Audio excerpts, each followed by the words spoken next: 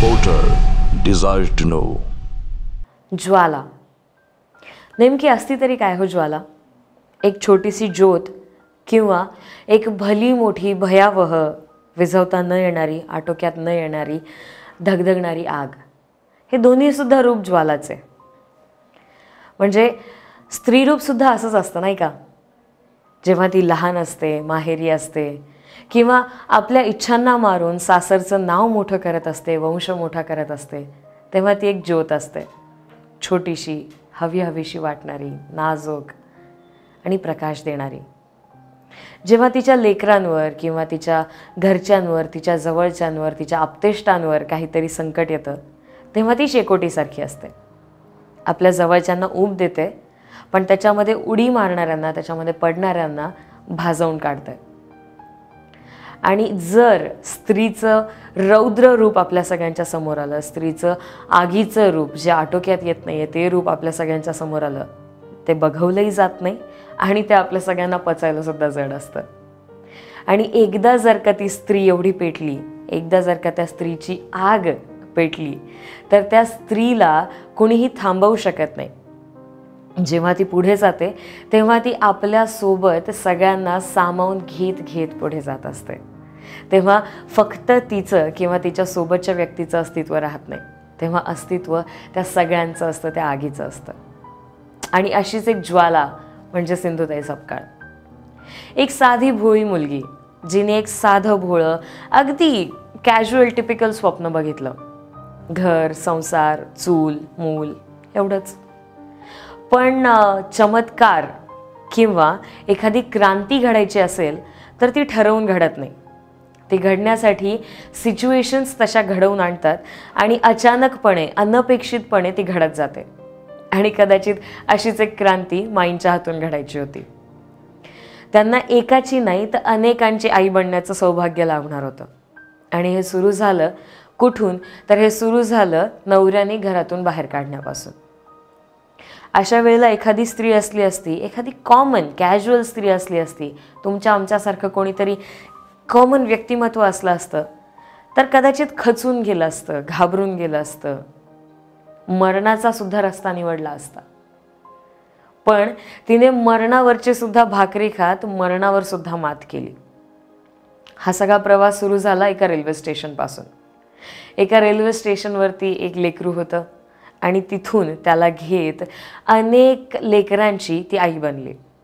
अशा अनेक हजारो लेकरांची आई बनत बनत तुमच्या आमच्या सगळ्यांच्या मनावर राज्य करत करत ती करोडोंची माय बनली. माईंना त्यांच्या आईपणासाठी आजपर्यंत अनेक पुरस्कार मिळाले. पण माईंना त्या पुरस्कारांचं कधी कौतुक नव्हतंच. पण ते पुरस्कार दाखवावे लागतात. कारण समाजाला चांगलं पण तेव्हाच पचतं जेव्हा ते चांगलं पण विजिबल असतं जेव्हा ते चांगलं पण रेकग्नाईज होतं जेव्हा त्याची कोणीतरी दाद देतं जेव्हा त्याची कोणीतरी चौकशी करतं. आणि म्हणून माईंना मिळालेल्या साडेचारशेपेक्षा जास्त पुरस्कारांची यादी आहे. यामध्ये खरं तर माइंडच्या या सगळ्या कामामध्ये कर्तृत्वामध्ये सगळ्यात मोठं योगदान किंवा सगळ्यात मोठा हात आहे एकटेपणाचा. कारण जी व्यक्ती एकटेपण जगते त्या व्यक्तीलाच माहिती असतं की ते काय. आहे. आणि त्या एकटेपणामध्ये जेव्हा कोणीतरी हात धरायला येतं जेव्हा कोणीतरी सोबत बसायला येतं जेव्हा कोणीतरी घास भरवतं तेव्हाच ते एकटेपण जातं. आणि असं अनेकांचं एकटेपण माईंनी खाल्लं आहे स्वतःसोबत अनेकांचं एकटेपण त्यांनी पळवून लावलं आहे अगदी शंकरासारखंच. शंकराने जसं विषप्राशन केलं आणि जगाचं कल्याण केलं जगाला वाचवलं तसंच कुठेतरी माईंनी सुद्धा सगळ्यांचं एकटेपण खाल्लं आणि सगळ्यांना इतकं घडवलं सगळ्या मुलांना इतकं घडवलं की त्यांना घडवल्यानंतर जिथे लोक एका क्षणासाठी वर्षानुवर्ष तरसतात तसे काही क्षण माईंनी त्यांच्या अनु आयुष्यात अनुभवले. ते कसे तर माईंनी आजपर्यंत शेकड्यांनी जावई आणि सुनांचं स्वागत त्यांच्या परिवारात केलं. खरं तर माईंचं कौतुक करावं तितकं कमी आहे. माई म्हणजे अगदी त्या ज्वालासारख्या. ती आग धगधगणारी कधीही न विझणारी भयावह आटोक्यात न येणारी. आणि ही तीच आटोक्यात न येणारी आग आहे. पण शरीर नश्वर आहे. शरीर कधी ना कधी साथ सोडणारच होतं. आणि ती वेळ तो दगा काळाने काल दिला. काल हृदयविकाराच्या झटक्यानं माईंची साथ त्यांच्या शरीरानं सोडली. पण माईंनीच आपल्याला शिकवलं आहे ना? जीवनात उभं राहायचं असतं मागे वळून पाहायचं असतं आणि कधीही न थांबणारं पाऊल पुढे टाकायचं असतं. माईंची ही शिकवण कधीच विसरू शकत नाही. आणि ज्यांनी ज्यांनी ही शिकवण मनावर घेतली आहे ज्यांच्या ज्यांच्या मनात ही शिकवण रुजली आहे त्या प्रत्येकाच्या मनात माई कायम जिवंत आहेत. त्याच्यामुळे माई गेल्या असं म्हणता येणं शक्यच नाही.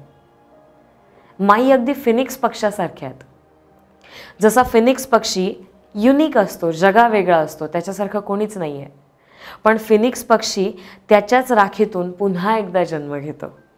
तसंच काहीतरी माईंचं आहे माईंनी इतकी मुलं घडवली इतके संस्कार दिले आपल्या सगळ्यांना की त्या संस्कारातूनच पुन्हा एकदा आपल्या सगळ्यांच्यामध्ये त्या जन्म घेतात. माईंनी आपल्या सगळ्यांना थांबणारा विचार कधी दिलाच नव्हता.